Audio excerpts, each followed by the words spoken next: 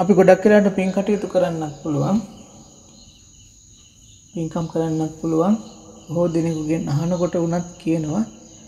අසවල් අසවල් ආකාරයට පින්කං කරලා තියෙනවා. අසවල් අසවල් ප්‍රසිද්ධ ස්ථාන සුප්‍රසිද්ධ ස්ථානවලට මම මෙහෙම පින්කම් කරලා තියෙනවා. මේ විදිහට මේ විදිහට පූජාවල් කරලා තියෙනවා. මේ මේ දේවල් ඒ ඒ තැන්වලට දන් දීලා තියෙනවා කියලා. අපි නිකමට හිතලා බැලුවද දානේ හම්බ වෙන්නේ නැති තැන් තියෙනවා. දානේ හොයාගන්න අමාරු තැන් තියෙනවා. දාන ටිකක් සකස් කරගන්න අමාරුකම් තියෙන තැන් තියෙනවා. ස්ථාන හැටියට ගත්තොත් එහෙම ග්‍රාමවාසී හෝ ආරණ්‍යවාසී ආකාරයට සමහරක් වෙලාට අපි ඒ වගේ ස්ථාන පහු කරගෙන ගිහිල්ලා සුප්‍රසිද්ධ සුප්‍රසිද්ධ ස්ථාන වලට දන් දෙනවා වෙන්න පුළුවන්. ඒක හොඳයි නරක නැහැ නමුත්. ඒක හොඳයි නරක නැහැ නමුත්. අපි අපේ හිත යොමු කරවන්නට ඕන පින්නතුනේ යථාර්ථය පැත්තට. ඒ වගේමයි ඉගෙන ගියාගන්න වුවමනාවක් තියෙන දරුවෝ ඉන්න පවුල් තියෙනවා ඒ ඇතන්ට ඉගෙන ගන්ට පොත්පත් නැහැ. ඉස්කෝල එකට යන්ට ඇඳුමක් නැහැ. ඇත්තටම කියනවනම් මේ කාලෙ තියෙන මේ ප්‍රශ්නත් එක්ක ගෙදර දොරේ කන්ට බොන්ට දෙකුත් නැහැ.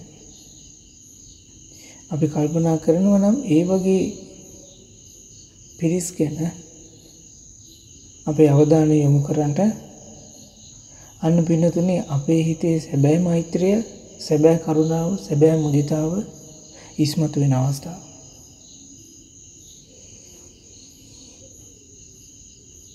අපි සුදුසු දෙයයි කරන්නට ඕන සුදුසුම කාලයේදී සුදුසු විදිහටයි හැසිරෙන්ට ඕන. සුදුසු ආකාරයෙනුයි ජීවිතය ගෙවන්ට ඕන. ඔය සුදුසු ආකාරයෙන් කියද්දි මට එක සිද්ධියක් මතක් වුණා. එක්දා සම්සය අනු හතර වර්ෂයේදී ලෝකෙ පැවතිච්ච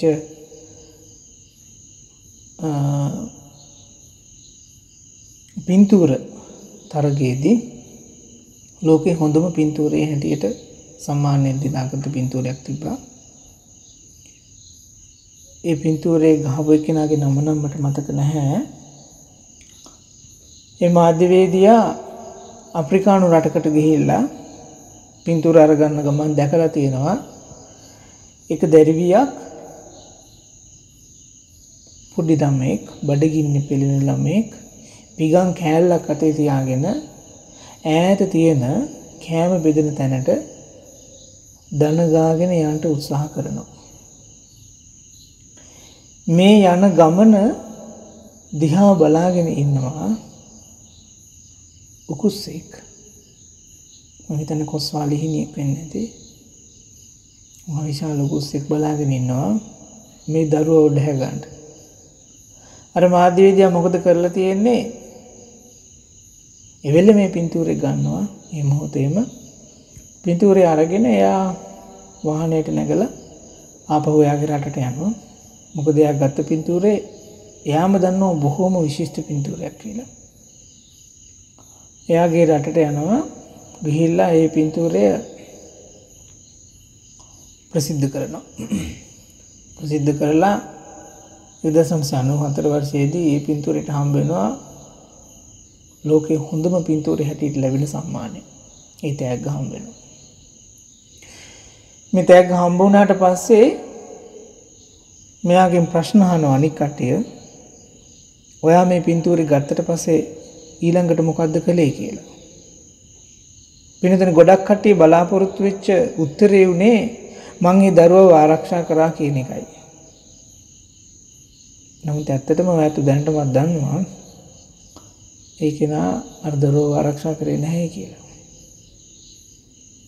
ඒ දරුව මිය හැදින්ට ඇති අපි දන්නේ නැහැ.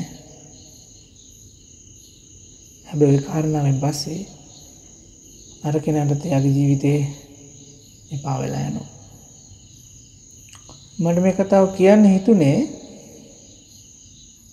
අපේ ජීවිතේ අපිට ගොඩාක් අවස්ථා තියෙනවා අනිත් කෙනෙක්ගේ ජීවිතය ආරක්ෂා කරන්නට රකින්ට රැකලා දෙන්න ඒ කෙනාගේ ජීවිතයට යම් කිසි විදිහක හරි පහසුවක් විස්පාසුවක් සලසලා දෙන්න නමුත් අපි ගොඩක් වෙලාවල්ලදී ඒ අවස්ථාව මගේ ඇල්ල දානවා. අපි හිතාගෙනින් අපි බලාපොරොත්තු වෙන අපේ අරමුණට විතරක්ම යන්ට කරන කල්පනාව තුළ තියෙන ප්‍රශ්න මෙන්න මේකයි. නමෙන් ප්‍රසිද්ධ වනාට ඒ වගේ තැනකට දඩුන්නා කියලා මහිතන්න එච්චර ප්‍රයෝජනයක් තියවි කියලා. මොකද ඒ දේවල් ලබාගෙන ඒ දේවල් ගබඩාවල්ල එහෙමම ඉතුරු වෙලා යනවන්නම් විනාස් වෙලා යනවනම් ඒ වගේ ඇත්තටම කිසි පලක් නෑ ප්‍රයෝජනයක් නෑ නමුත් අපිට හිතන්න පුළුවන් නම් මෙරට අසරණ පවුල් ඉන්නවා අසරණ ඇත්තු ඉන්නවා. ඉගෙන කියාගන්න දක්ෂ ඌමනාකම තියෙන නමුත් හැකියාවක් නැති අය ඉන්නවා. ඒ ඇත්තන්ට උදව් කරන්න හිතුවොත් අර අසරණ කෙනෙක්ට උදව් කරන්න හිටියොත් එහෙම ඒකත් මහා ලොකු ආනිසංසයක්. ඒකත් මහා ලොකු කුසල විපාකයක් සිද්ධ වෙවි.